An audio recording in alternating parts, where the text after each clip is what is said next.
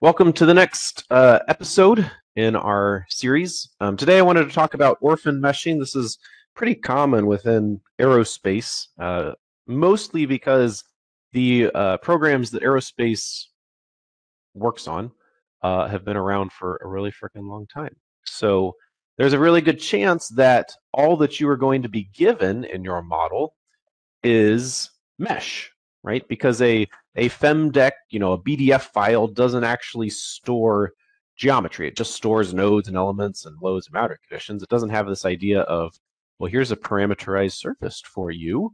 Uh, you know, if it did, you know, our jobs would be a lot easier, but it doesn't. So um, this is the generic model that I've been working on this whole time. I know I owe you some recordings, and I know you I owe the model. I'm working on it. Um, I do have a day job, by the way.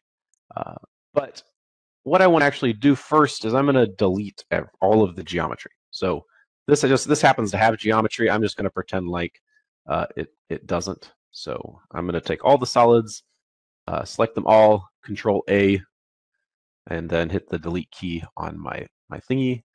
Um, I will have this option to delete associated surfaces. Of course, I would like to delete them as well and keep the mesh. So now um, kind of looking at this, it says I have lines and surfaces. So let me change surfaces, all, control A, delete these surfaces. I don't want to delete the elements. This is just kind of a silly way that I have to do this, but I guess there's a probably a better way. I could have just shown all the geometry. Um, show all the lines, control A, a bunch of lines in here, delete.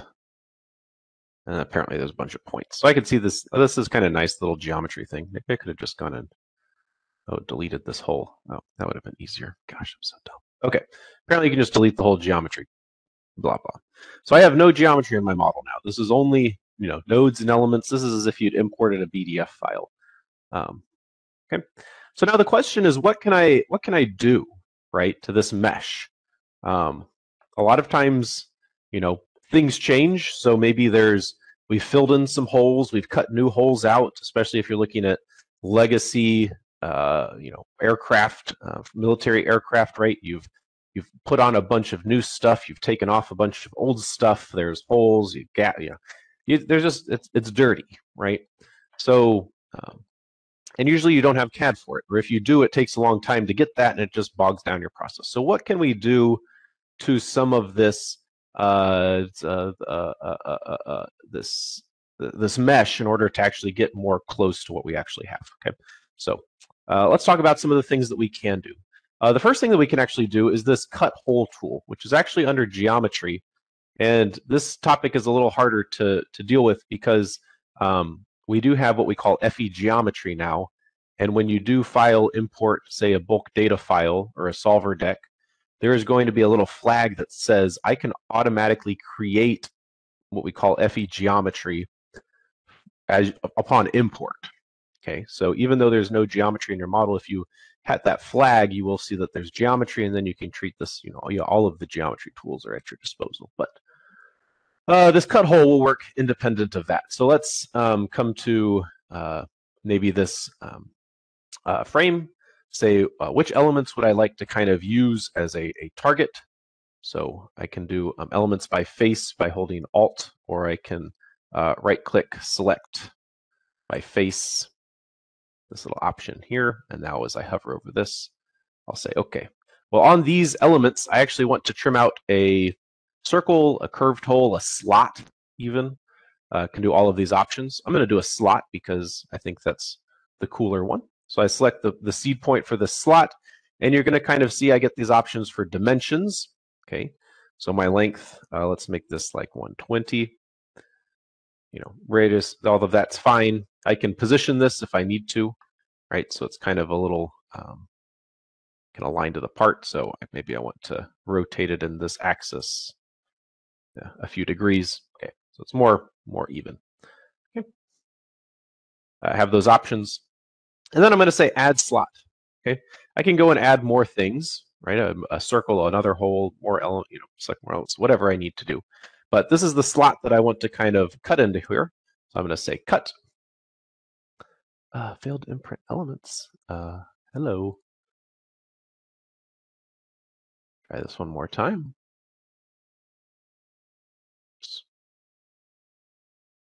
Elements. Cut holes. Why did we fail to imprint here? Okay, let's try this one more time. Cut. These are the elements that I'd like to have selected. Here is going to be my slot.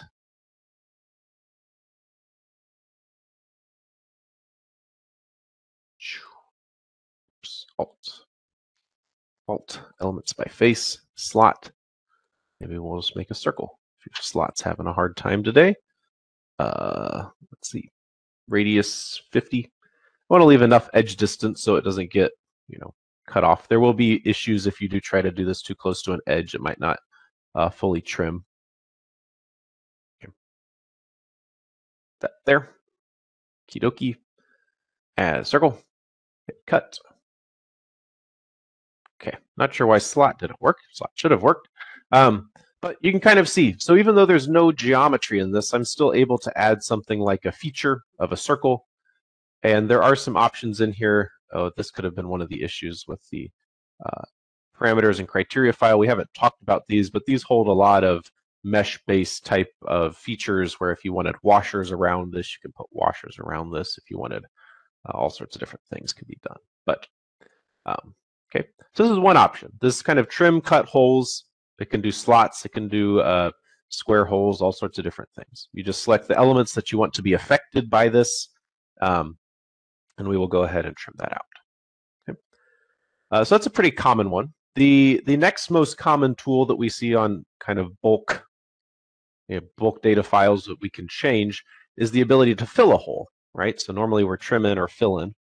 Uh, and under the fill, under this elements ribbon, we have the option of a hole and gap fill. Uh, this tool will do one of two things. Um, so it will do uh, essentially a hole fill in which you can select a bunch of parts or components and search for a hole. Um, so you can always search, but I usually like to do uh, this idea of just selecting the edges of a hole to fill.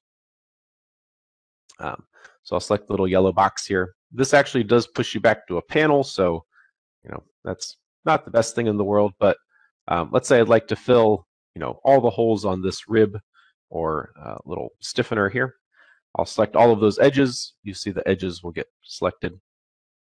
Okay. Then I have options for how this is going to get filled. Uh, I know that this is going to be bad, but I will fill this currently.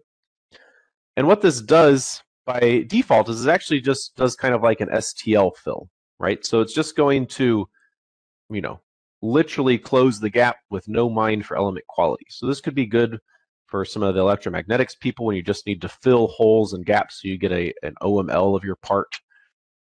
Um, but it's not great for us structural people, so I'm going to hit reject. And we do have an option for remesh, so I would encourage you to use that. Um, and this is where all of the new elements will go. So either the current component, you'll probably want it in the adjacent component. So what is, is touching?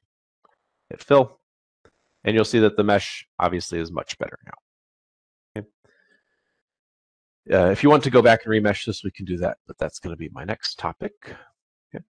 Uh, so obviously I can do hole and gap fill, um, different things. Patch is a little less circular, um, so I believe patch will do a, a, pretty good job on this middle opening. Um, so if I went here, I think I can do this middle, the middle.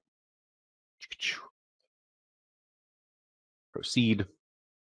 Uh, this one also will be curved because it's on a curved surface, but I'll hit fill so you can see um, it does kind of see that there's a little a little bump over here.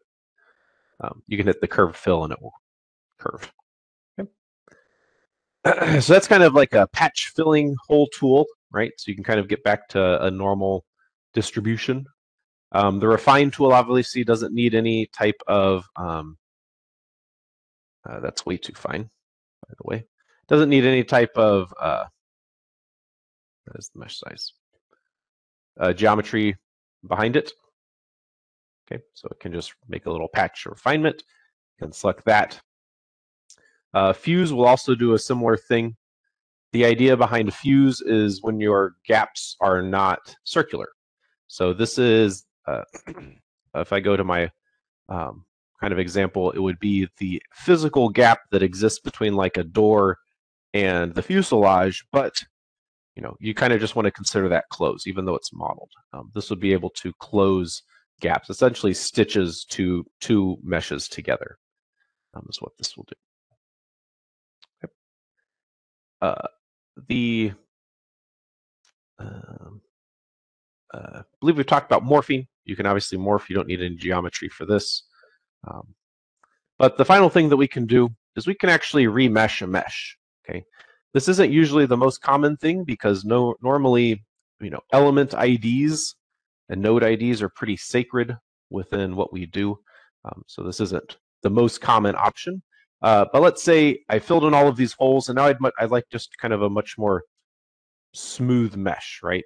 Um, so, and maybe even a finer mesh. Maybe we're doing a more detailed analysis on this part. So um, maybe that is, is the case here. So I will grab um, all of these elements, as well as these two. Not sure why they didn't get selected. And I can put in maybe a finer element size, maybe an element size of five. So this was an element size of five, by the way. So it's going to be much finer. Okay. Uh, it's going to mesh, remesh all these shells independent. There's no geometry associated with this. So we'll just hit mesh. And you'll see that we get a you know much more uh, much more organized type of mesh, I suppose, is probably the best way. I can't change any of these, even though it does go into a density. Um, none of the elements that I selected had a free edge in which to uh, change the density on because they're connected to the mesh still. So if I would, if I wanted to do this, um, I would have had to select this face as well as this face and hit mesh. And now I can say change the density here.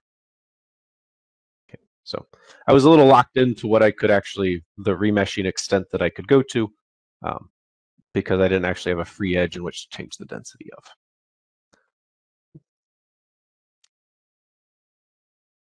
Okie dokie. Um, so as far as orphan meshing goes, uh, that's pretty much usually what we do. Hole fill, create a hole in a mesh, uh, and then remesh a mesh. Um, uh, so as far as kind of orphan meshing, um, those are some of the things that we can do. Add that to the morphing that we talked about earlier. Um, we can change the shapes of these parts. Oh, the last one I guess we can do, I don't know if I've ever shown this tool, but this works on mesh, is this idea of replicate. Okay. Um, so replicate is interesting. I'll try to find a good example here. Uh, let's say I wanted to essentially take this rib feature, even though it's not super complicated, um, well, I'll do two things. I'll take this rib feature and I just want to replicate this feature, you know, two or three times along the length of this beam. Okay. Uh, so I will once again uh, do elements by face or edge. So grab those elements. Um, and I will have the ability to uh, move them. So I can say, let's get this organized. Perfect. Uh, I want to move my move tool. So remember, I can go shift. I can snap this to the edge, and I can hold shift and snap Y down the length of that element. So kind of reposition this. Uh, so in the Y direction, I can take this and I can, you know, replicate this, but I can also replicate this um, two, three, X number of times as well. Okay, so let me kind of take this back here. That looks good. Okay. And what this is actually going to do is kind of a combination of a few tools. It's obviously copy and pasting. It's some equivalency and stitching. I'm going to go ahead and hit replicate. And it's going to take this feature and it's going to sew it into the mesh here. And it will do any type of remeshing that it needs. So this is great if you have a complicated feature. Obviously, this is not the most complicated feature in the world, but um, what it does. And uh, I'll do kind of the same thing over here. This one will kind of be silly, but uh, let's do it just because, you know, what else are we doing today? Um, I can take this mesh feature. Does that's pretty. We should have put a washer around this. Either way, uh, and I will move this this hole as well to another location. So once again, let me uh, move my move tool, mostly just to get it in line with an axis uh, down the length of this part. Okay, so now I don't want to replicate it three times, by the way. I just want to replicate it once. I want to actually move this circle over here somewhere onto this face as well.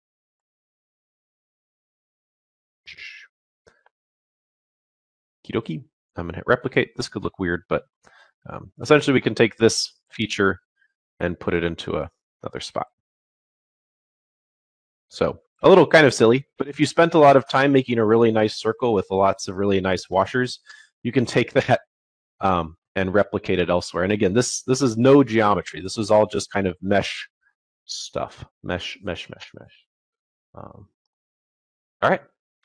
Uh, so that's what I wanted to show with orphan meshing, um, those kind of tools. Uh, again, some of these tools you need to, to use a little more cleverly than, than uh, what you might have used in the past. But if you're pretty, if you're a clever person, um, I think you could find some really, really cool efficiencies with some of these tools. And with that, uh, I hope everyone's doing well. Feel free to reach out to, to me or Altair support if you need anything. Um, and we will talk next time.